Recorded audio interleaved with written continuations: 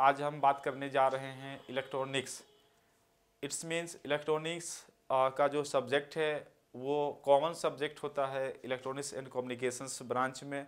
या इलेक्ट्रिकल से भी बच्चे अगर डिप्लोमा या बीटेक करते हैं तो उनके लिए भी इलेक्ट्रॉनिक्स का सब्जेक्ट पढ़ना होता है. और एक और ब्रांचेज है इंस्ट्रूमेंटेशन तो जो बच्चे इंस्ट्रूमेंटेशन की पढ़ाई करते हैं, उनको भी इलेक्ट्रॉनिक्स का पेपर पढ़ना होता है. इट्स मीन्स इलेक्ट्रॉनिक्स एक कॉमन सब्जेक्ट है जो इम्पोर्टेंट uh, है हर एक ये तीनों ब्रांच के लिए और इक्वली इम्पोर्टेंट है। लेकिन जो बच्चे इलेक्ट्रॉनिक्स एंड कम्युनिकेशंस या इलेक्ट्रॉनिक्स एंड टेलीकम्युनिकेशन या इलेक्ट्रॉनिक्स से डिप्लोमा या बीटेक कर रहे हैं उनके लिए ये फाउंडेशंस मान सकते हैं कि ये पेपर के बिना उनका सब कुछ अधूरा है। तो इसलिए इस पेपर को काफ़ी डीपली और बेसिक लेवल से आपको पढ़ने की आवश्यकता है और ताकि जब आप ऊपर लेवल पे जाते हैं पढ़ते पढ़ते तो वहाँ पे एनालिसिस कर सके। क्योंकि ऑब्जेक्टिव क्वेश्चंस जब एग्ज़ाम में आती है तो वो हो सकता है कि आपका वो सुना हुआ हो या कुछ कंसेप्ट को मिक्स करके वो एक नया क्वेश्चन डेवलप किया हो। तो जो क्वेश्चन नया डेवलप किया होगा वो क्वेश्चंस आपको इससे पहले कहीं नहीं मिला होगा तो वहाँ पे आपका कन्फ्यूज़न होना लाजमी है। इसलिए आपको ये प्रयास रखना पड़ेगा कि हर एक कंसेप्ट को हम समझते हुए चले।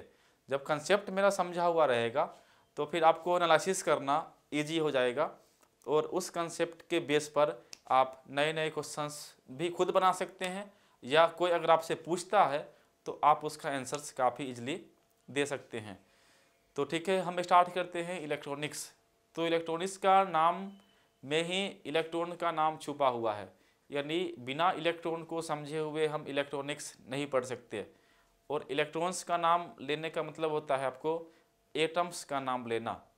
यानी एटम के बारे में हमें पहले पढ़ना होगा। अब एटम पढ़ने का साफ़ साफ़ मतलब होता है केमिस्ट्री से, कि केमिस्ट्री में एटम्स के बारे में पूरा डिटेल पढ़ना होता है। तो हम थोड़ा सा पोर्शन केमिस्ट्री का उठाएँगे, जहाँ पे एटम्स को समझाया गया है। एटम क्या होता है? एटम्स का मेन तीन पार्टिकल्स होते हैं। वो इस तरह का होता है आपका। अगर हम एटम की बात करें तो एटम में आपका इलेक्ट्रॉन प्रोटॉन और एक होता है आपका न्यूट्रॉन, यानी ये तीन पार्टिकल मिला के ये बन जाता है आपका एटम। ये तीन आपका फंडामेंटल पार्टिकल है। ऐसे इसमें न्यूट्रोनो, पोजिट्रोनो, बहुत सारे छोटे छोटे और भी फंडामेंटल, ये फंडामेंटल को छोड़ के और भी इसमें पार्टिकल्स होते हैं। लेकिन जो हमारा सिलेबस है, उसमें ये तीनों से ही क्वेश्चंस आते हैं। अब आपका जो इलेक्ट्रॉनिक सब्जेक्ट है, जो वो सिर्फ़ इलेक्ट्रॉन्स पे फोकस करती है।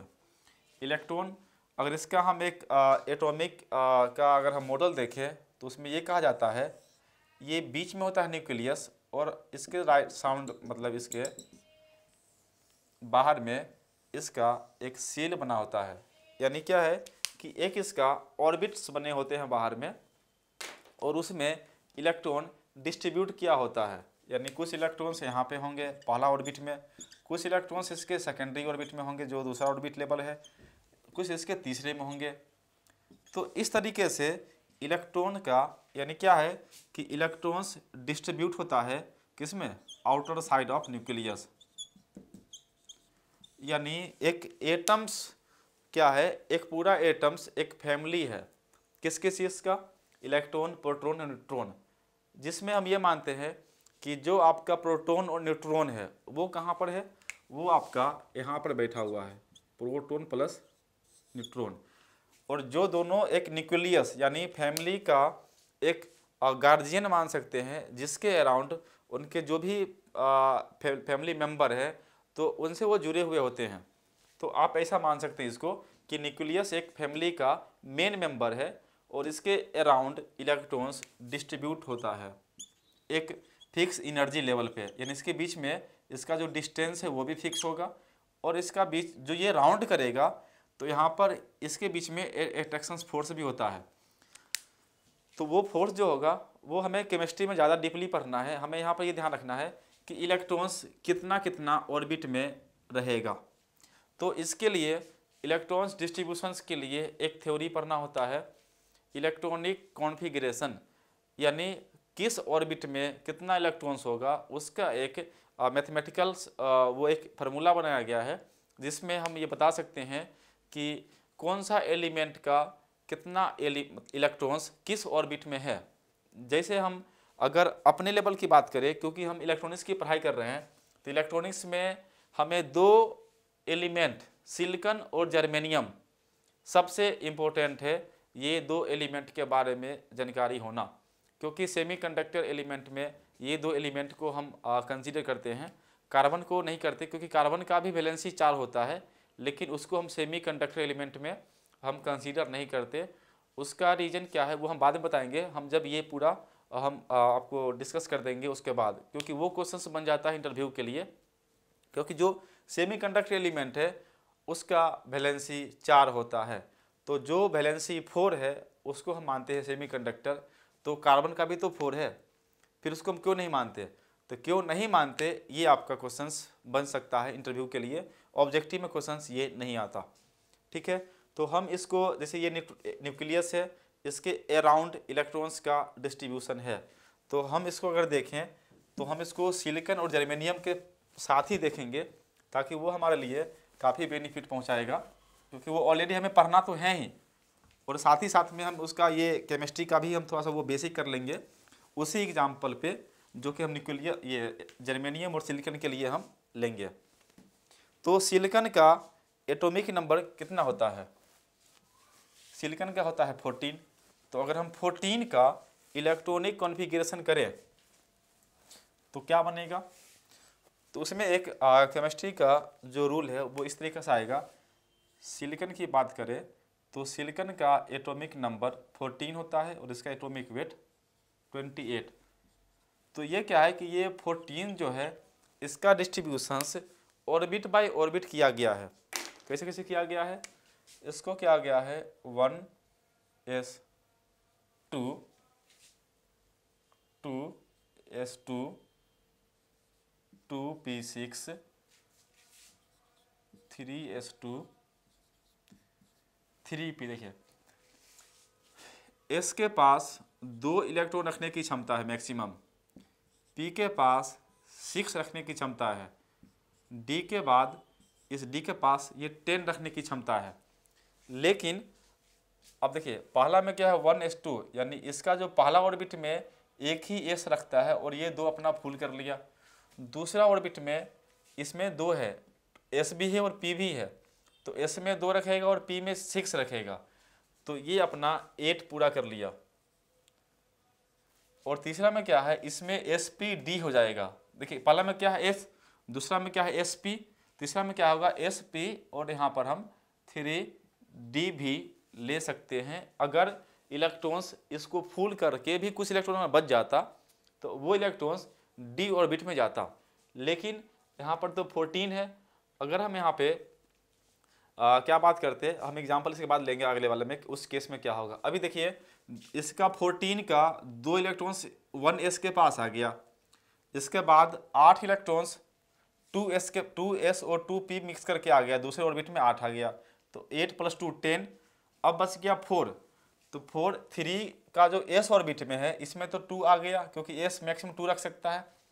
पी मैक्सिमम सिक्स रख सकता है। लेकिन इसके पास अब, सिर्फ़ कितना बचा हुआ है? दो ही बचा हुआ है, क्योंकि two two, four four, six, ten ten plus two, twelve. Twelve तो इलेक्ट्रॉन से यहाँ पे पूरा फुल हो गया।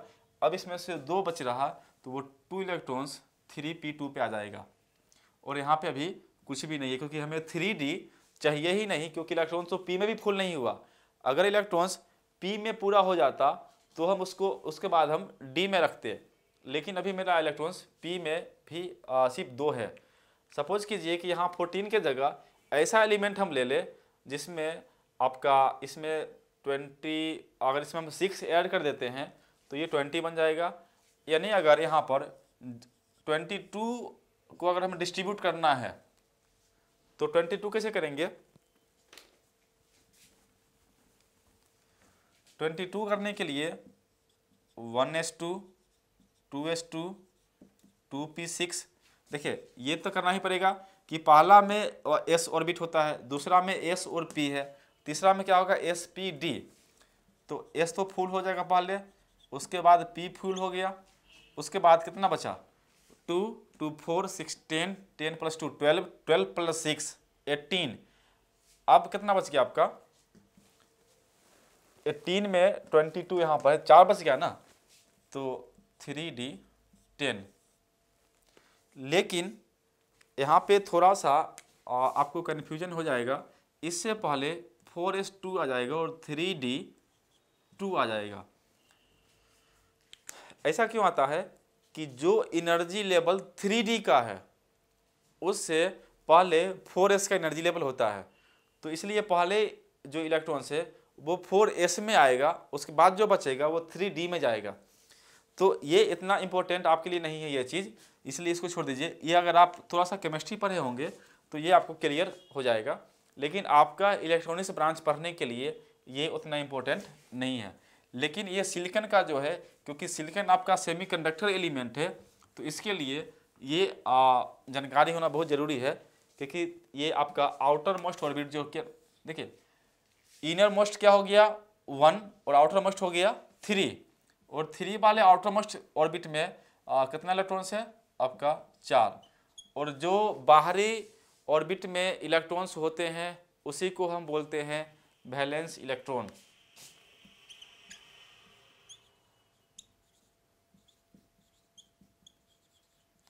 तो आपका सिलिकन का वैलेंस इलेक्ट्रॉन्स कितना हो गया? चार, फोर। तो इसका मतलब है कि वैसा एलिमेंट जिसका वैलेंसी फोर होता है वो अपना कोवलेंट बॉन्ड बनाता है। अब ये कोवलेंट बॉन्ड का क्या मतलब हुआ? तो केमिस्ट्री में तीन तरह के बॉन्डिंग होते हैं। तो एक क्या हुआ? आ, आप ये समझ के चलिए यहाँ पे कि सिलिकन के पास चार इलेक्ट्रॉन्स हैं और एक और सिलिकन है इसके पास भी चार इलेक्ट्रॉन्स हैं। अब क्या होता है? केमिस्ट्री में एक नियम है जिसमें, जिसका आठ इलेक्ट्रॉन्स पूरा हो जाता है, वो आपका स्टेबल बन जाता है। क्या हुआ? कि जिस एलिमेंट का, या मतलब आठ इलेक्ट्रॉन्स का एक गुच्छा बन जाता है ऑक्टेट रूल उसको बोलते हैं। यानी एट को बोल देते हैं ऑक्टेट रूल यानी जो ऑक्टेट रूल को फॉलो कर जाता है, वो स्टेबल कहलाता है। अब सिलिकन के पास चार है। और इस सिलिकन के पास में चार इलेक्ट्रॉन्स है आउटर मोस्ट ऑर्बिट में। और इसमें भी चार है। तो ऐसे भी अगले, इस सिलिकन का भी चार होगा। इस सिलिकन का भी चार होगा। इसके आसपास तो बहुत सारा सिलिकन होगा ना, उसके एटम होंगे। सबका बैलेंस ही चार होगा। तो ये अपना में क्या करेगा? शेयर कर लेगा। ये दोनों मिला के बॉन्ड बनाएगा। अब ये सिलिकन कितना काउंट किया? दो ये टू काउंट कर लिया, two plus two four four plus two six six plus two eight यानी ये सिलिकन अपना ऑक्टेट रूल को फॉलो कर गया और ये आपका सिस्टम स्टेबल कहलाएगा। यानी इसका कोई भी इलेक्ट्रॉन्स फ्री नहीं हुआ। यानी जब तक किसी भी एलिमेंट में फ्री इलेक्ट्रॉन्स नहीं होगा, तब तक वो करंट को पास नहीं करेगा। इसका मतलब क्या हुआ? सिलिकन के पास चार वैलेंस इलेक्ट्रॉन्स है और वो चारों वैलेंस इलेक्ट्रॉन्स अगले सिलिकन यानी जो उसके आसपास जितने भी सिलिकन्स के एटम्स होंगे सिलिकन्स के वो एटम होंगे। उसके आउटर मोस्ट ऑर्बिट में जो इलेक्ट्रॉन्स होंगे, उससे ये कोवैलेंट बॉन्ड बनाएगा। जैसे सपोज़ कीजिए, यहाँ भी सिलिकन है, इसका भी चार इलेक्ट्रॉन्स होंगे, यहाँ भी सिलिकन है, इसका भी चार इलेक्ट्रॉन्स होंगे, यहाँ पर भी सिलिकन है, इसका भी चार इलेक्ट्रॉन होंगे अब ये सिलिकन इससे बॉन्ड बनाएगा, इससे बॉन्ड बनाएगा, इससे बॉन्ड बनाएगा। यानी इसका भी चारों बॉन्ड पूरा हो गया। यानी ये भी मतलब इसी तरीका से देखा जाए तो पूरा सिलिकन ग्रुप स्टेबल रहेगा। तो फिर हम सिलिकन को सेमीकंडक्टर क्यों बोलते हैं? तो प्योर सेमीकंडक्टर नहीं मतलब अगर ये प्योर सिलिकन की बात करें तो वो सेमीकंडक्टर नहीं कहलाएगा, वो कहलाएगा इंसुलेटर इसमें जब तक हम इम्प्योरिटी को ऐड नहीं कर दें, इसमें से हम कुछ इलेक्ट्रॉन्स को फ्री नहीं करवा दें, तब तक ये कंडक्शंस नहीं करेगा। इसका साफ़ साफ़ मतलब होता है कि हमें कंडक्शंस के बारे में जानकारी होना ज़रूरी है। यानी कंडक्टर किसको बोलते हैं? यदि हम अगर बात करें, ये तो रहा एलिमेंट की, और ये केमिस्ट्री में टोटल 106 एलिमेंट मेन एलिमेंट है, उसके बाद बाकी का तकरीबन 28 उसका हेल्पिंग एलिमेंट है, जो कि मेन में नहीं आता, उसके साइड से हेल्पिंग में आता है वो। यानी 135 एलिमेंट के आसपास मेरे खोज हो चुका है। और उसमें से एक एलिमेंट ये है, जिसका एटॉमिक नंबर चौदह है। इस तरीके से टोटल एलिमेंट होगा तो वो केमिस्ट्री में पूरी पढ़ाई करनी है। लेकिन अगर हमें इलेक्ट्रॉनिक्स का पढ़ाई करना है तो हमें इसके बारे में सिलिकन और जर्मेनियम के बारे में डिटेल पढ़ना होगा। तो हम ये बात कर लेते हैं आ, थोड़ा सा कंडक्टर क्या होता है और इंसुलेटर क्या होता है।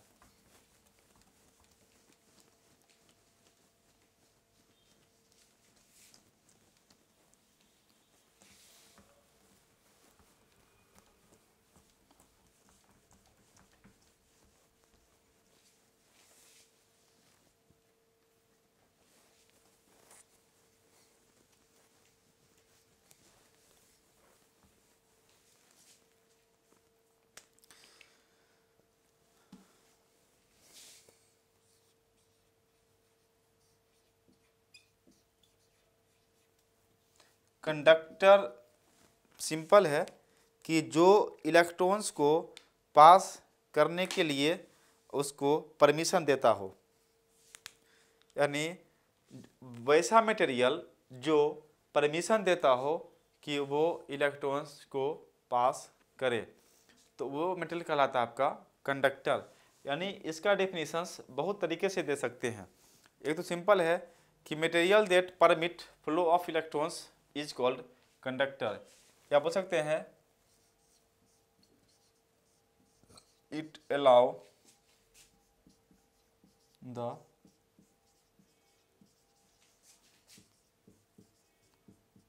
flow of electrons ये कॉमन है। या इसको और भी समझा सकते हैं कि दोज मटेरियल मतलब जिसमें से करंट पास हो सकती है, उसको हम बोलते हैं कंडक्टर यानी the material those can flow of current is called conductor यानी ये आ, खुद से भी डिफाइन कर सकते हैं। आ, और इसके बारे में अगर हम थोड़ा सा डीपली जाएँ तो इसका एग्जांपल हम देखें तो क्या होगा एग्जांपल इसके लिए आ, एक तो कॉपर है जो कि बेस्ट कंडक्टर है। सिल्वर है वो भी बढ़िया कंडक्टर है। गोल्ड है वही बढ़िया कंडक्टर है। यानी ये सब क्या है कि करंट का बढ़िया कंडक्टर है। यानी इससे होकर करंट काफ़ी इजली पास हो सकता है। इजली पास होने का मतलब हुआ? अगर हम बोल रहे हैं कि इजली पास होता है मतलब ऐसा भी होता हो जहाँ बिजली पास नहीं होता होगा तो उसमें एक विरोध की भावना होती है और जिसमें ज़्यादा विरोध होगा, वो अच्छा कंडक्टर नहीं कहलाएगा। तो जो इलेक्ट्रॉन्स को पास करने में विरोध करता है, उसको बोलते हैं प्रतिरोध, यानी रजिस्टर। यानी एक रजिस्टर नाम का एक यहाँ पर क्रिएट हो रहा है, जो अपोज करता है। किस चीज़ को? Oppose the flow of electron यानी देखिए कंडक्टर क्या है? कंडक्टर अलाउ करता है इलेक्ट्रॉन्स को पास करने के लिए। उसके उल्टा क्या है? कि अगर ये अलाउ कर दिया पास करने के लिए तो इलेक्ट्रॉन्स पास कर रहा है। लेकिन जिस रास्ते पर वो इलेक्ट्रॉन्स जा रही है, उस रास्ते पर कुछ ऐसे मटेरियल्स हैं मटेरियल का अपना अपना प्रॉपर्टीज़ होता है, जो कि इलेक्ट्रॉन्स को थोड़ा सा रसिस्ट करते हैं। उसको उतना स्पीड से पास नहीं होने देते। तो वहाँ पर एक रेजिस्टेंस का बिहेवियर दिखता है। तो इसकी हम बात इलेक्ट्रिकल सर्किट में कर चुके हैं, इसलिए हम यहाँ पे अभी नहीं कर रहे हैं। इसको हम फिर बाद में यहाँ पे इंट्रोडक्शन करवाएँगे। तो उसको हम बोलते हैं रेजिस्टेंस अब बात करेंगे हम कंडक्टर हो गया। अब बात करते हैं इंसुलेटर की। मेरा एम है सेमी कंडक्टर पे आना, क्योंकि इलेक्ट्रॉनिक्स पढ़ने का साफ़ साफ़ मतलब होता है कि हमें सेमी कंडक्टर डिवाइस के बारे में स्टडी करना। तो सेमी कंडक्टर का मतलब होता है कि कुछ कंडक्टर यानी सेमी मतलब थोड़ा कंडक्टर यानी थोड़ा सा कंडक्टर तो पहले कंडक्टर तो हम समझ ले, उसके बाद सेमी पे आएँगे। इंसुलेटर क्या होता है?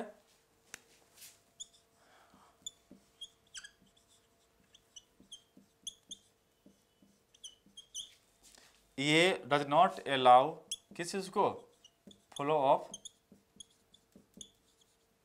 इलेक्ट्रॉन यानी ऐसा मटेरियल जो अलाउ नहीं करता इलेक्ट्रॉन्स को पास होने के लिए, उसको बोलते हैं इंसुलेटर तो इंसुलेटर को अगर हम समझने के प्रयास करें एग्ज़ाम्पल के साथ में तो क्या हो सकता है? इसमें आप रबर ले सकते हैं, इसमें प्लास्टिक ले सकते हैं, इसमें एयर ले सकते हैं एयर इंसुलेटर होता है। तो ये सारी चीज़ इसमें अगर हम बात करें रबर है प्लास्टिक है ईटीसी ये सब भी है जो कि इंसुलेटर होता है। अब बात करते हैं सेमी कंडक्टर की।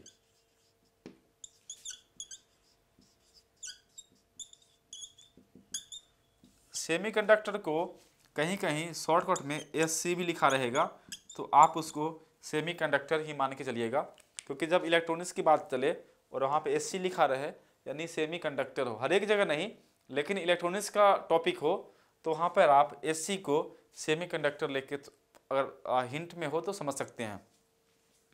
तो इसमें क्या है कि मटेरियल का जो कंडक्टिविटी है, वो कंडक्टर और इंसुलेटर के बीच में अगर रहे, यानी जो कंडक्टिविटी है, वो कंडक्टर और इंसुलेटर के बीच में एग्जिस्ट करता है तो वो आपका कहलाएगा सेमी कंडक्टर यानी मटेरियल हुज कंडक्टिविटी ऐसा लिख सकते हैं material whose conductivity lie between conductor and insulator conductor and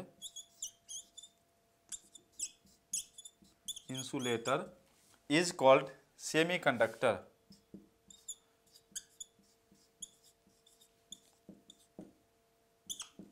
यानी इसमें ये सिर्फ़ रिफरेंस किसको बनाया? ये दोनों को। यानी जिसका कंडक्टिविटी की बात हो रही है ना इसकी चर्चा हम इलेक्ट्रिकल सर्किट में कर, आ, कर चुके हैं। कंडक्टिविटी को हम लोग शो करते हैं सिग्मा से। सिग्मा क्या होता है? कंडक्टिविटी और ये हर एक मटेरियल का कंडक्टिविटी कांस्टेंट होता है। तो जैसे कॉपर है एलुमिनियम है सिलिकन है जर्मेनियम है हर एक का कंडक्टिविटी एक कांस्टेंट होता है। आ, अगर कंडक्टिविटी ज़ीरो हुआ तो वो कहलाएगा आपका इंसुलेटर हम इसको रब करते हैं। और इसके बाद हम थोड़ा सा डाटा लेते हैं कि आ, किसके किसके बीच इंसुलेटर होता है। और ऐसे आपके लिए इम्पोर्टेंट नहीं है, लेकिन थोड़ा सा एक रफ आइडिया मिल जाएगा आपको कि कंडक्टिविटी किस चीज़ में मापी जाती है और अप्रोक्सीमेट उसका जो वैल्यू है, वो कितना होता है कंडक्टर के लिए इंसुलेटर के लिए और सेमी कंडक्टर के लिए।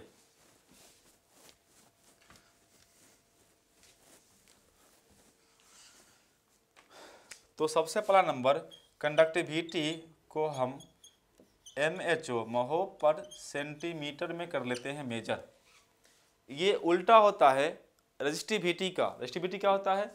सिग्मा और वो होता है ओम पर सेंटीमीटर। तो ये आपका रहा कंडक्टिविटी को हम लोग अच्छा उसको बोलते हैं रो इसको बोलते हैं सिग्मा। और इसका वैल्यू हो सकता है कंडक्टर के लिए, क्या रेंज है? इंसुलेटर के लिए सॉरी सेमी कंडक्टर के लिए क्या है? और इंसुलेटर के लिए क्या है? तो इसमें है कि कंडक्टर के लिए सेमी कंडक्ट इसका सिग्मा का value greater than ten to the power three mho per centimetre होगा तो वो कंडक्टर कहलाएगा। सेमीकंडक्टर का सिग्मा का value ten to the power minus three से ज़्यादा और थ्री के कम। ये सब आपका महो पर सेंटीमीटर है, ये भी महो पर सेंटीमीटर है, ये भी महो पर सेंटीमीटर है। यानी सेमीकंडक्टर का मतलब है कि ten to the power minus three से लेके टेन टू दी पावर, और सॉरी, माइनस सेवन होगा ये। थोड़ा और इसमें नीचे जाइए। से लेके ये टच करेगा यहाँ तक। और less than sigma is less than minus seven mho per centimetre अगर होगा तो ये कहलाएगा इंसुलेटर और नीचे तो आपका इसे ज़ीरो से कम होगा नहीं तो आप ये ज़ीरो मान सकते हैं। यानी ज़ीरो से लेके ten to the power minus seven तक ये होगा इंसुलेटर सेमीकंडक्टर होगा, इससे ऊपर जा रहे हैं कहाँ तक? दस पावर तीन तक। यानी ये हो गया आपका वन थाउज़ेंड महो पर सेंटीमीटर अगर होता है ये होगा सेमीकंडक्टर और सेमीकंडक्टर में दो एलिमेंट है सिलिकन और जर्मेनियम तो सिलिकन के लिए आपका होता है ten to the power minus three mho per centimetre और इसके लिए ten to the power zero होता है. Ten to the power zero mho per centimetre. यानी ये रहा कंडक्टिविटी का मेन निचोड़। यदि आप अगर कंडक्टर को डिफाइन करते हैं तो कैसे डिफाइन कीजिएगा कि जिसका conductivity ten to the power three से ज़्यादा हो, उसको हम बोलते हैं कंडक्टर इंसुलेटर किसको बोलते हैं? जिसकी कंडक्टिविटी ज़ीरो से माइनस सेवन के बीच में हो ten to the power minus seven के बीच में हो, उसको बोलते हैं इंसुलेटर तो ये थोड़ा सा ज़्यादा टेक्निकल टर्म हो जाएगा। तो ये आपके लिए एक बेसिक कंसेप्ट क्लियर करने के लिए सही है कि इसका डाटा किस किस रेंज में होता है। ये आपको थोड़ा सा कॉन्फिडेंस बिल्डअप करवाएगा क्योंकि आपका अगर इलेक्ट्रॉनिक्स का बेसिक्स पकड़ रहे हैं तो इसका होना आ, बहुत ज़रूरी है।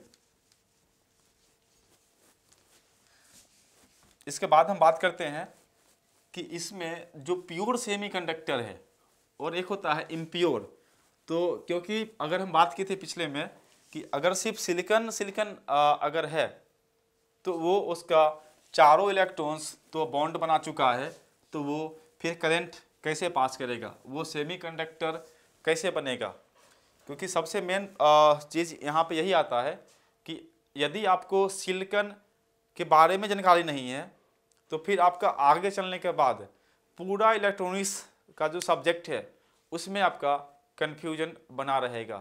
क्योंकि सेमीकंडक्टर एलिमेंट का नाम ही आते सिलिकन का नाम आपके पास आएगा।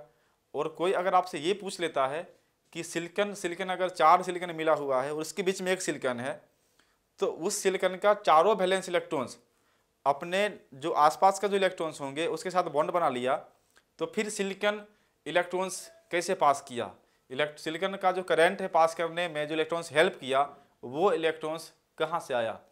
तो इसके लिए सेमीकंडक्टर में इम्प्योर फॉर्म को ही हम पढ़ते हैं। तो फिर ये इम्प्योरिटी क्यों ऐड करते हैं? वो इम्प्योरिटी क्या हो सकता है? उसके बारे में हम स्टार्ट करते हैं। अगर हम इम्प्योरिटी की बात करते हैं तो इसका मतलब ये है कि प्योर जो एलिमेंट है, उसमें कोई बाहरी एलिमेंट का मिक्सिंग कर देना, यानी कुछ कम अमाउंट में यानी एक रेशियो होता है मिक्स करने का तो उसको बोलते हैं क्या? उसको बोलते हैं इम्प्यूटी का ऐड होना या एक तरह से बोल सकते हैं डोपिंग करना। आ, इसको एक नाम डोपिंग भी बोलते हैं। तो इससे पहले हम टॉपिक पढ़ लिए थे उसमें क्या था?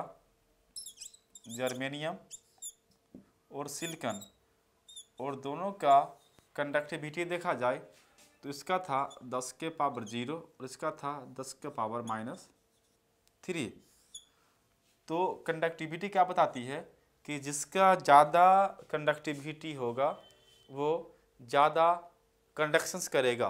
यानी देखिए Germain conductivity of germanium is greater than किसका? सिलिकन है ना?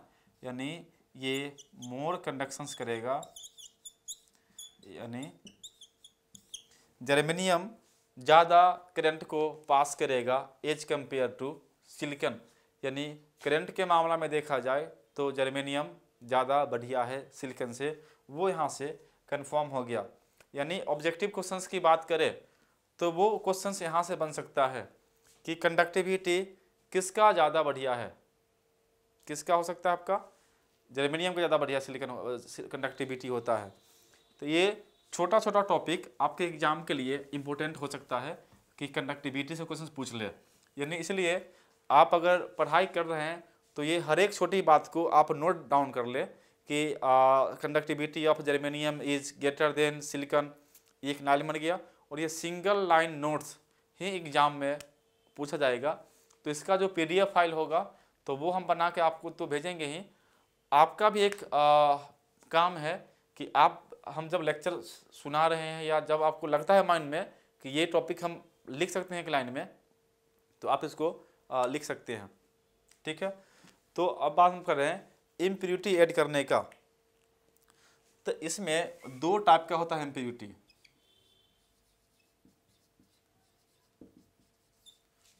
एक आपका होता है एन टाइप एक है आपका P type N type impurity और P type impurity N type में हम ऐसे एलिमेंट को ऐड करते हैं जो आपका पेंटावेलेंट हो. पेंटावेलेंट वाले एलिमेंट को हम इसमें इम्प्योरिटी बनाते हैं और इसमें ट्राइवेलेंट वाले को.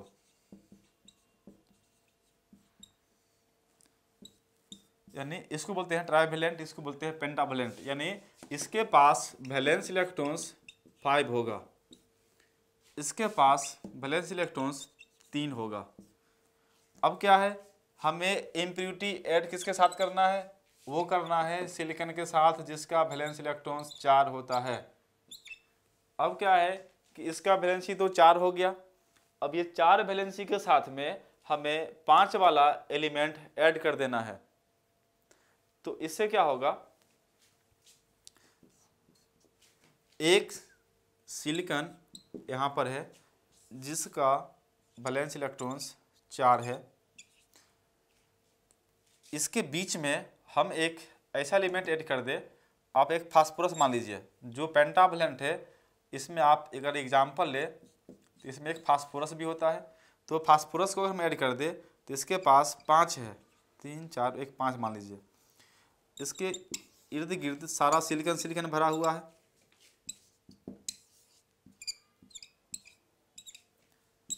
यानी इसके आसपास सिलिकन चार है।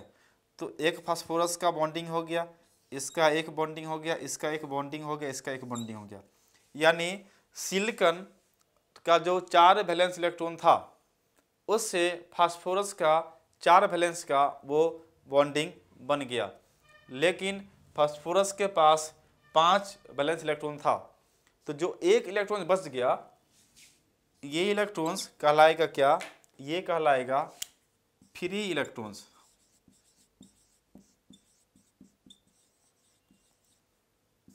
यानी ये इलेक्ट्रॉन्स के वजह से ही एन टाइप सेमीकंडक्टर या बोल सकते हैं इसको एन टाइप जो सेमीकंडक्टर है, उसमें कंडक्टिविटी होती है।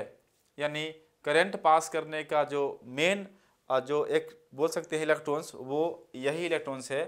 और ये इलेक्ट्रॉन्स फास्फोरस का एक बचा हुआ इलेक्ट्रॉन्स जो है, उसको बोलते हैं फ्री इलेक्ट्रॉन्स और इसके वजह से कंडक्टिविटी होती है।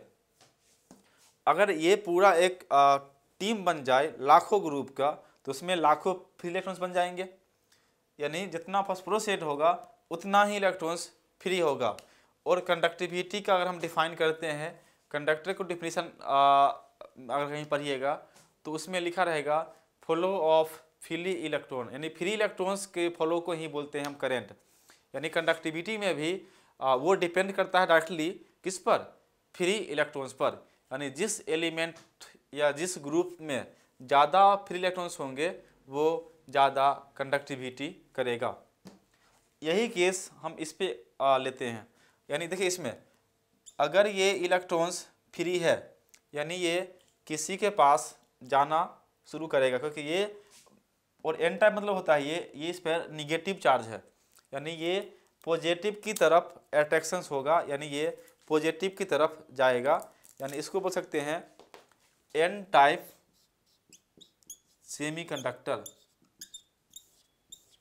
यानी जिसमें पेंटावेलेंट इम्प्यूरिटी को ऐड करते हैं, वो सेमीकंडक्टर कहलाता है क्या? एन टाइप सेमीकंडक्टर और जिसमें पी टाइप यानी जिसमें ट्राइवेलेंट ऐड करते हैं इम्प्यूरिटी वो कहलाता होगा P type semiconductor according to यहाँ पर। यानी यहाँ पर भी अगर हम बात करें बोरोन की पी टाइप में बोरोन आता है और एन टाइप में फॉस्फोरस आता है। तो ब्रोन का वैलेंस इलेक्ट्रॉन्स होता है आपका तीन। और जब तीन वाले वैलेंस इलेक्ट्रॉन से सेमीकंडक्टर का सिलिकॉन एलिमेंट अगर आ, वो बॉन्डिंग बनाता है तो इस तरह से बन सकता है। एक दो तीन। इसके पास तीन इलेक्ट्रॉन्स हैं। और सिलिकॉन की बात करें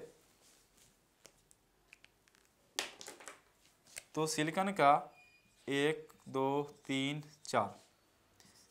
One, two, three, four. One, two, three, four. यानी इस बोरोन के जो चारों साइड में सिलिकॉन का जो बैलेंस इलेक्ट्रॉन चार चार है, वो हो गया। ये जब बॉन्डिंग बनाएगा तो इसका जो तीन है, वो तो काफ़ी सिंपल बन जाएगा। लेकिन ब्रोन के पास तो बैलेंस इलेक्ट्रॉन्स तीन ही था, और वो तीनों सिलिकॉन के साथ बॉन्डिंग बना चुका। लेकिन इसके एक साइड और अभी सिलिकॉन का वो एक इलेक्ट्रॉन्स बचा हुआ क्योंकि इसका जो तीन है, वो तीनों फिर से किसी और के साथ बॉन्डिंग बनाएगा। लेकिन ब्रोन का जो यहाँ पर कुछ भी नहीं है, ये क्या करेगा? इस इलेक्ट्रॉन्स को देखते हुए ये अपने आप में एक होल क्रिएट करेगा। यानी यहाँ पर एक क्या होगा कि ये ब्रोन को ये देगा और यहाँ अपने आप को ये दे के यहाँ पर एक होल क्रिएट हो जाएगा। यानी जहाँ पर एक इलेक्ट्रॉन्स कम है ब्रोन का, क्योंकि ब्रोन के पास में मात्र तीन वैलेंस इलेक्ट्रॉन्स है और वो तीनों वैलेंस इलेक्ट्रॉन्स सिलिकन के चार चार वैलेंस इलेक्ट्रॉन्स था, सबसे एक एक से वो अपना बॉन्डिंग बना चुका। लेकिन एक इलेक्ट्रॉन्स सिलिकन के पास में जो था, वो इसके पास नहीं है तो वो इलेक्ट्रॉन्स इसको दे के इसको आठ पूरा करवा देता है और वहाँ पर एक होल क्रिएट होता है। ये एक नया टर्म है। ये इलेक्ट्रिकल में नहीं पढ़ना होता। ये होल्स सिर्फ़ इलेक्ट्रॉनिक्स वाले को ही पढ़ना होता है। क्योंकि पूरा इलेक्ट्रिकल्स ब्रांच में सिर्फ़ इलेक्ट्रॉन्स की बात करते हैं। लेकिन यहाँ पर हम होल की बात करते भी हैं। ये आपका होल कहलाता है। यानी अब यहाँ पर क्या बोलेंगे कि पी टाइप सेमीकंडक्टर में जो करंट पास करेगा, वो पास करेगा किसके रीजन किसके वजह से? वो वजह होगा होल्स यानी यहाँ पर होल ही फ्री होल्स कहलाता है और करंट पास करेगा ड्यू टू होल यानी यहाँ पर अगर करंट पास करता है current flow due to flow of holes यानी पी टाइप सेमीकंडक्टर का इम्प्यूरिटी कौन सा हो गया? ट्रा, ट्राइवेलेंट और इसमें जो करंट है वो पास करने का जो वजह है जो उसका कॉज है वो क्या है? होल और इसमें क्या था? एन टाइप में एन टाइप में है आपका इलेक्ट्रॉन्स तो इसलिए एन एन टाइप के पास ज़्यादा कंडक्टिविटी होती है as compare to P type से तो आपके एग्ज़ाम में यहाँ से क्वेश्चंस जो बन सकते हैं, वो ये बन सकते हैं कि इम्प्योरिटी कौन कौन होता है। तो सबसे पहला नंबर फॉस्फोरस और बोरोन या पेंटावेलेंट या ट्राइवेलेंट उसके बाद ये पूछा जा सकता है कि एन टाइप सेमीकंडक्टर में कौन सा एलिमेंट या किस टाइप के एलिमेंट को डोपिंग करते हैं, या इम्प्योरिटी ऐड करते हैं। देखिए डोपिंग करना भी डोपिंग एक प्रोसेस है। लिख सकते हैं इसको डोपिंग क्या है? It is a process to add impurity to the pure element. यानी डोपिंग कुछ भी नहीं। आप जो ये फास्फोरस को सिल सिल्वर के बीच में या सिल, सिलिकन के बीच में डाल रहे हैं उसी प्रोसेस को बोलते हैं डोपिंग करना। तो यहाँ पूछ सकता है कि एन टाइप सेमीकंडक्टर में किस टाइप का मटेरियल को हम डोपिंग करते हैं? तो वहाँ पर ऑप्शंस या तो ट्राइवेलेंट हो सकता है पेंटावलेंट हो सकता है इसमें चार ऑप्शन कुछ भी हो सकता है। तो उसमें एन टाइप का नाम लेते ही आपको पेंटावलेंट डोपिंग करते हैं। या नहीं तो वहाँ पर चार एलिमेंट का ही नाम दिया रहेगा, फॉस्फोरस यहाँ पे बोरोन और चार, दो नाम और भी दे सकता है। तो वहाँ पर फॉस्फोरस पे टिक्स कर सकते हैं। या नहीं तो जो पेंटावलेंट ग्रुप में जो इलेक्ट्रॉन्स जो एलिमेंट आते हैं, उसका भी नाम ऑप्शन में हो सकता है। तो उसका नाम और दे सकते हैं। एक तो होता है आपका फॉस्फोरस, एक होता है आपका अर्सेनिक इसको हम साफ़ करते हैं। मे भी ऐसे फॉस्फोरस ज़्यादा आपसे पूछेगा नहीं आप इसको अपने नोट डाउन कर लीजिए अपने नोटबुक में। क्वेश्चंस अगर थोड़ा सा और लेवल बढ़ा दे तो फास्फोरस नहीं दे के फॉस्फोरस ग्रुप का कोई एलिमेंट का नाम और भी बढ़ा सकता है यहाँ पे। यानी पेंटावेलेंट में जो एग्ज़ाम्पल है, वो फॉस्फोरस है, उसके बाद आपका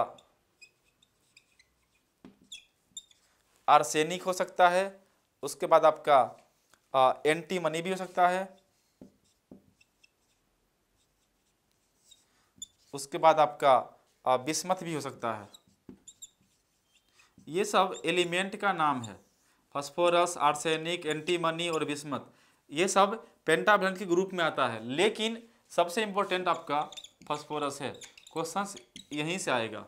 ये ऑप्शनल है। अगर बाय दी बे इसको नहीं पूछ के अगर इस बाकी में से पूछ लेता है, तब ये इंपॉर्टेंट है। ऐसे इससे ज़्यादा अभी तक पूछा नहीं है। इसी टाइप का अगर फास्फोरस, ये पी टाइप की बात करें तो पी टाइप में बैलेंस इलेक्ट्रॉन्स तीन वाले एलिमेंट को ऐड कर सकते हैं इम्प्यूरिटी के रूप में।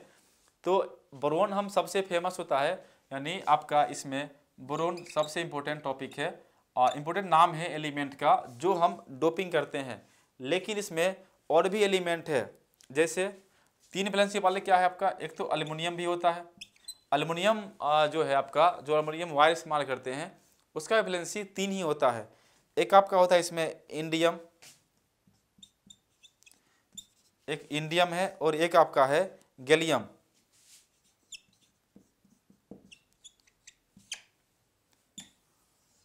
यानी ये एलिमेंट है जिसका वैलेंसी तीन होता है और इम्प्योरिटी के रूप में ऐड कर सकते हैं, लेकिन ज़्यादातर हम करते हैं बोरोन ही।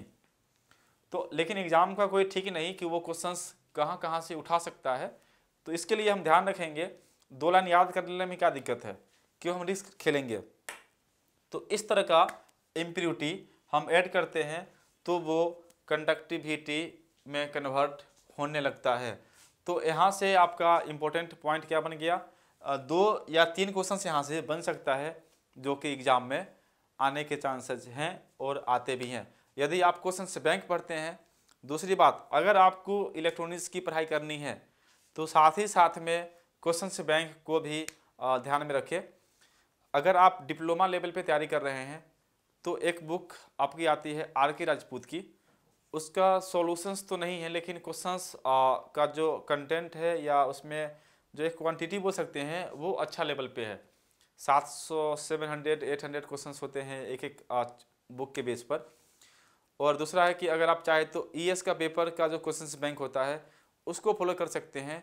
या मार्केट में जितने भी बुक हैं, वो सबको आप ट्राई कर सकते हैं अगर आप इस टॉपिक को पढ़ रहे हैं तो। इससे क्या होगा कि क्वेश्चंस डिफरेंट डिफरेंट रूप में आपको दिखेगा। कंसेप्ट वही है, क्वेश्चंस किस तरीके से आपके सामने उभर के आता है, वो क्लियर होता रहेगा, जिससे आपको एग्ज़ाम में टाइम भी कम लगेगा और थोड़ा सा कॉन्फिडेंस लेवल भी हाई रहेगा, क्योंकि आप एग्ज़ाम में आने से पहले बहुत सारा क्वेश्चंस आप पहले ही कर चुके हैं अपने प्रैक्टिस में। तो इसके लिए यहाँ ये चीज़ बहुत इम्पोर्टेंट है कि आप जो पॉइंट पढ़ रहे हैं, उसके साथ ही साथ उसका क्वेश्चंस बैंक उसका प्रैक्टिस ये करते रहें। और इसके प्रैक्टिस के लिए इसके लिए हम, मेरा जो कोचिंग सेंटर है हम लोगों का, ये भी एक कदम उठा रही है ऑनलाइन टेस्ट सीरीज़ का। और जो हमारा ऑनलाइन टेस्ट सीरीज़ आने वाली है ये तकरीबन एक जनवरी को हम लॉन्च कर रहे हैं। और जो हमारे और भी फैकल्टी हैं, मैकेनिकल और सिविल में, इलेक्ट्रिकल्स में तो ये सारे ब्रांच का जो ऑनलाइन टेस्ट सीरीज़ है, वो इस पैटर्न पे होगा कि सबसे पहले जैसे आप बेसिक इलेक्ट्रॉनिक्स की पढ़ाई कर रहे हैं, क्योंकि इलेक्ट्रिक, इलेक्ट्रॉनिक्स में तो बहुत सारा है ना, इसमें डायोड भी पढ़ना है, इसमें P N junctions N P N P N P ये पूरा पढ़ना है। लेकिन अगर हम इसका बेसिक पढ़ा दिए तो सिर्फ़ बेसिक लेवल का जो टेस्ट होगा, वो तकरीबन ढाई सौ, तीन सौ क्वेश्चन एक एक टॉपिक पे होना ज़रूरी है और वो हमारा तीन से चार लेवल में टेस्ट पूछा जाएगा। यानी टॉपिक वाइज टेस्ट का नाम इसको दे सकते हैं कि इस टॉपिक पे पचास क्वेश्चन से टाइमिंग उसका नहीं फिक्स होगा क्योंकि आप पहली बार टेस्ट देते हैं तो टाइम का बंडेशन नहीं होना चाहिए। वो आपको नॉलेज है, वो चेक करना सबसे मेन है। भले टाइम कितना भी ले लीजिए। जब नेक्स्ट लेवल टेस्ट होगा सेकंड टेस्ट होगा तो उसमें टाइम का बंडेशन शुरू हो जाएगा। इससे आपका जो स्पीड और एक जो आपके अंदर कमी है, क्योंकि हो सकता है हम इसमें पूरा पढ़ा दिए या और भी टॉपिक हो, या सिविल का हो मैकेनिकल का हो, आपने पढ़ा और थोड़ा सा इग्नोर कर दिए, पढ़ने समय में आपका माइंड डिस्टर्ब हो गया या किसी और चीज़ पे आपका दिमाग चला गया। और अब जब टेस्ट पे आप बैठे और उस समय जो टेस्ट में क्वेश्चन आया, उस टॉपिक से पूछ लिया गया, जो कि ऑलरेडी पढ़ाया हुआ था, लेकिन आपका माइंड किसी और चीज़ में इन्वॉल्व था जिसके वजह से वो टॉपिक उतना अच्छा क्लियर नहीं हो पाया और वही टॉपिक से क्वेश्चंस हम अपने ही टेस्ट सीरीज़ में आपसे पूछ लिए। फिर आपका मार्क्स कम आया। फिर आपको ये देखना है कि आपका जो क्वेश्चंस बनाए वो कितना परसेंट अटैम्प्ट किए। एक तो वो हुआ और जो अटैम्प्ट नहीं किए, उसके पीछे क्या मतलब उसका जो कॉज है, वो क्या है। उसके बाद जो आप अटैम्प्ट किए, उसमें से कितना सही है, कितना गलत है और उसका रेशियो क्या है। अगर उसका ratio seventy five twenty five है पहली बार में, तब तो ठीक है। अगर उससे कम होता है, यानी आपका पढ़ाई सही नहीं चल रहा तो इस तरीके से हमारा जो ऑनलाइन क्लासेस है, इसमें हम अपने आप को एज ए स्टूडेंट समझ के ये मानते हैं कि अगर हम स्टूडेंट होते और ऐसा क्लास हमें मिलता तो हमें क्या क्या चीज़ चाहिए एक अच्छा तैयारी करने के लिए। तो उसमें सबसे मेन है एक बेसिक कंसेप्ट जो क्लियर करने वाला चीज़ हो, वो हमें मिल जाए। उसके बाद उसके बेस्ट पर कुछ क्वेश्चंस मिले और जो क्वेश्चंस में दिक्कत आती हो, वो हमें सोल्व करवा दिया जाए कोचिंग के थ्रू तो मेरा भी यही तरीका है कि हम जो पढ़ा रहे हैं, सबसे पहले आप इसको पढ़िए। काफ़ी one time two time three times जितनी बार मर्ज़ी चाहते हैं, उसको पढ़िए। उसके बाद टेस्ट सीरीज़ ज़रूर दीजिए और टेस्ट सीरीज़ में जो क्वेश्चंस नहीं बना, क्योंकि हम टेस्ट सीरीज़ देने के बाद में उसका हर एक एक क्वेश्चन का सॉल्यूशन भी हम आपको देंगे।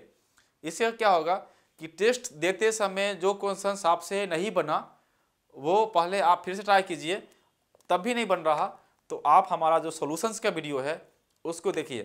तो सॉल्यूशंस के वीडियो में भी हम ये ऐड कर देंगे कि ये टॉपिक इससे जुड़ा हुआ था और उसका कंसेप्ट उठा के, उसका कंसेप्ट यूज़ करके ये क्वेश्चन हम सोल्व किए हैं। इससे क्या होगा कि क्वेश्चंस का भी प्रॉब्लम आपका सोल्व हो जाएगा और थ्योरी का तो हम अभी कर ही रहे हैं। तो इसके लिए आपको भी तैयार रहना पड़ेगा कि जिस शाम मतलब जिस टाइम में आप स्टडी कर रहे हैं, वो समय आप फुल्ली कंसंट्रेशन है स्टडी पे। नो मोबाइल्स अदर कोई भी काम नहीं। जब पढ़ाई कर रहे होंगे, उस समय सिर्फ़ पढ़ाई होना चाहिए। आसपास का जो माहौल है, वो बिल्कुल स्टडी टाइप का होना चाहिए। ठीक है? इम्प्यूरिटी के बाद हम नेक्स्ट टॉपिक लेके आ रहे हैं।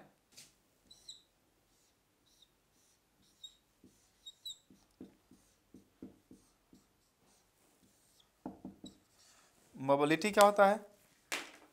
इसको आप अगर डिफाइन करते हैं तो उसको ये बोल सकते हैं कि जो इलेक्ट्रॉन्स कितना फास्टली मूव कर सकता है।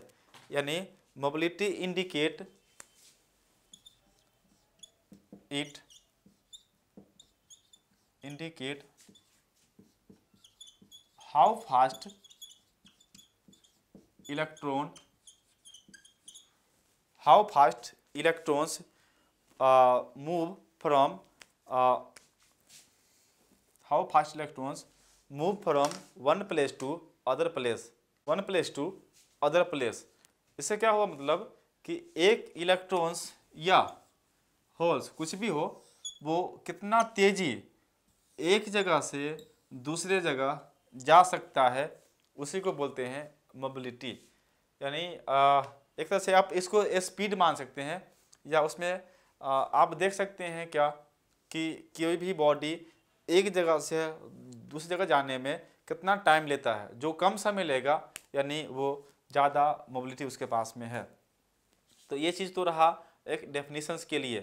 लेकिन जो एग्जामिनेशन पॉइंट ऑफ़ व्यू से इम्पोर्टेंट है, वो इसका और डेफिनेशन से मोबिलिटी को इंडिकेट करते हैं म्यू से। ये म्यू क्या है? ये इसको इंडिकेट करने का तरीका है मोबिलिटी को। करते हैं इंडिकेट किस चीज़ से? म्यू से। और मोबिलिटी का होता है formula drift velocity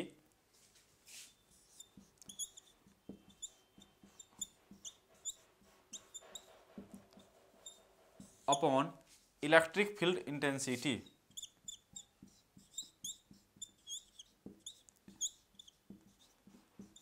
electric field intensity यानी ये फार्मूला को मोबिलिटी में मान सकते हैं।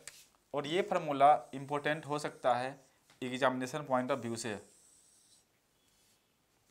ड्रिफ्ट वेलोसिटी को आप ऐसे भी इंडिकेट कर सकते हैं वी डी इसको मानते हैं वेलोसिटी और इलेक्ट्रिक फ़ील्ड इंटेंसिटी को कैपिटल ई e भी लिख सकते हैं।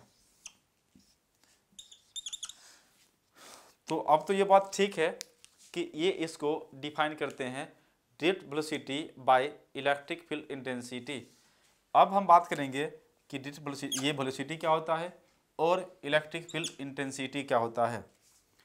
तो ड्रिफ्ट वेलोसिटी को आप अगर डिफाइन करना चाहते हैं तो ये समझ सकते हैं कि जब किसी एक इलेक्ट्रॉन्स को अगर कोई एनर्जी पीछे से मिलती है या एक इलेक्ट्रिक फ़ील्ड मिल जाता है तो वो इलेक्ट्रॉन्स काफ़ी तेज़ी से मूव करता है one place to other place और वो मोशन रैंडम होता है। उसका डायरेक्शन फिक्स नहीं होता, वो किसी भी डायरेक्शंस में मूव कर सकता है।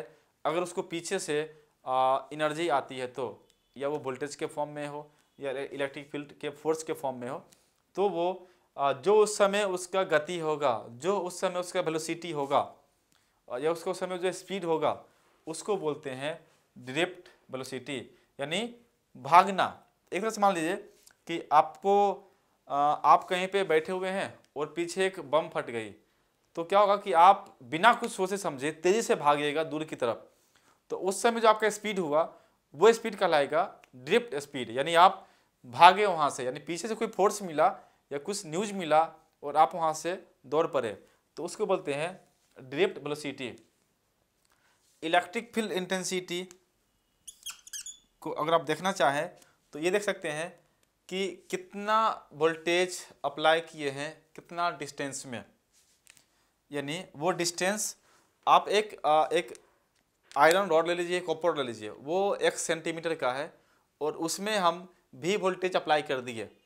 तो एक इलेक्ट्रॉन्स को इस दूरी से इस दूरी आने में जो समय वो डिस्टेंस बनेगा, वो एक्स होगा और जो अप्लाई वोल्टेज किए हैं, वो भी होगा। यानी आप बोल सकते हैं कि electric field intensity equal to X Y भी सॉरी जो वोल्टेज अप्लाई किए हैं तो वोल्टेज अप्लाई किए हैं भी कितना डिस्टेंस में? एक्स तो ये कहलाएगा इलेक्ट्रिक फ़ील्ड इंटेंसिटी। तो इलेक्ट्रिक फ़ील्ड इंटेंसिटी आपका भी बाई एक्स हो गया। Ratio of voltage by distance को बोलते हैं इलेक्ट्रिक फ़ील्ड इंटेंसिटी।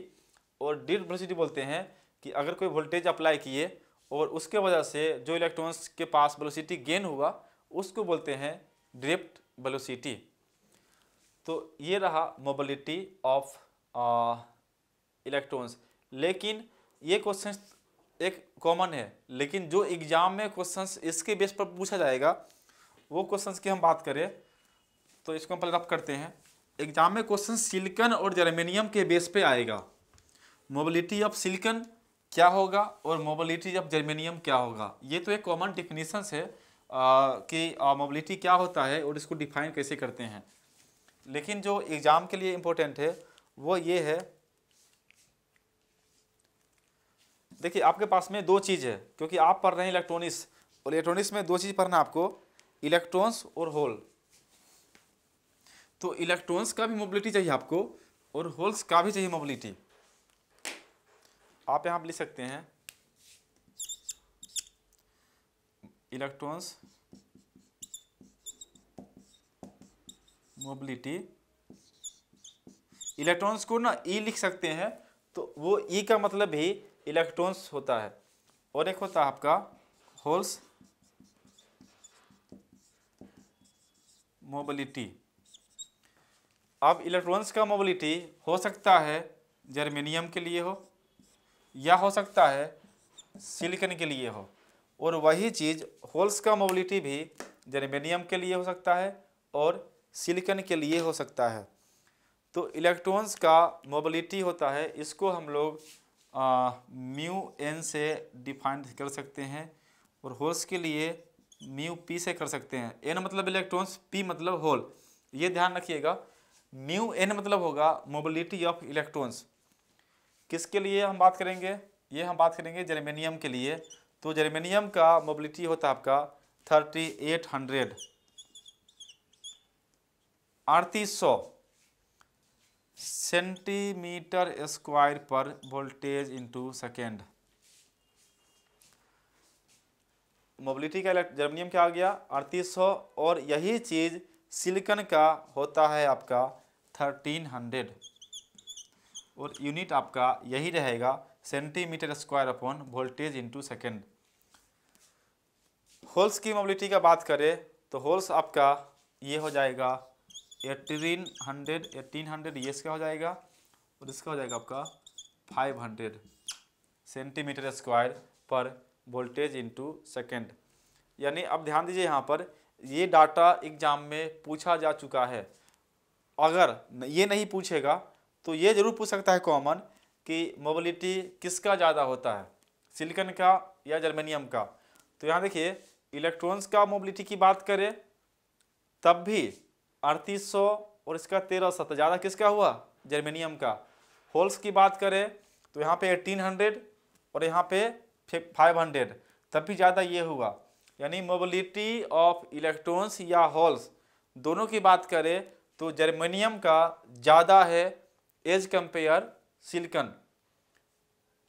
अगर सिर्फ़ जर्मेनियम में ही बात करें कि किसका ज़्यादा होता है, इलेक्ट्रॉन्स का या होल्स का तो इलेक्ट्रॉन्स का मोबिलिटी ज़्यादा होता है इज़ कंपेयर टू होल्स यानी दो तरह के क्वेश्चन पूछे जा सकते हैं। या तो कंपेयर कर देगा आपका सिलिकन जर्मिनियम के बीच में, या इलेक्ट्रॉन्स और होल्स के बीच में।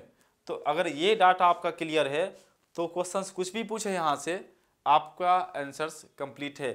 तो आपके लिए काम बच गया।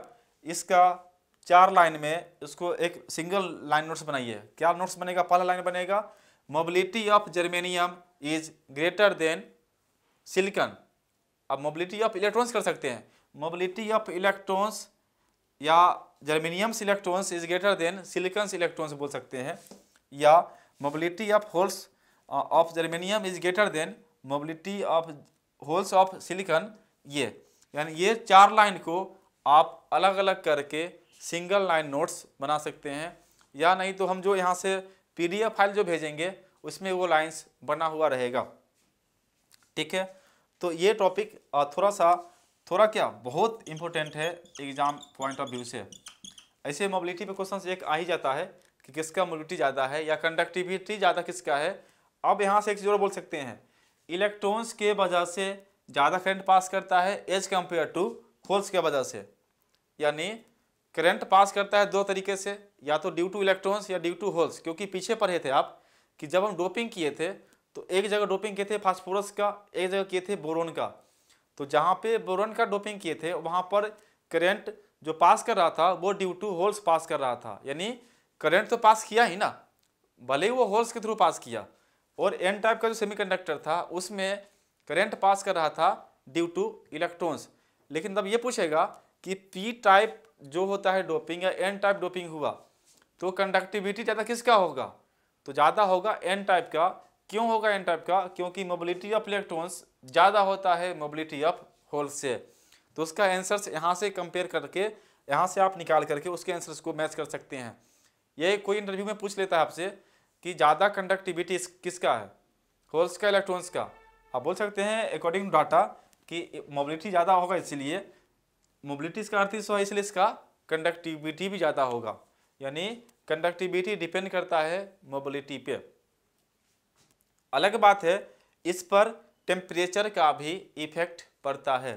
तो वह हम बाद में बात करेंगे, पहले हम बात करेंगे इसका कि मोबिलिटी क्या होता है और इसका इफ़ेक्ट इसमें इलेक्ट्रॉन्स का क्या है और होल्स का मोबिलिटी क्या होता है।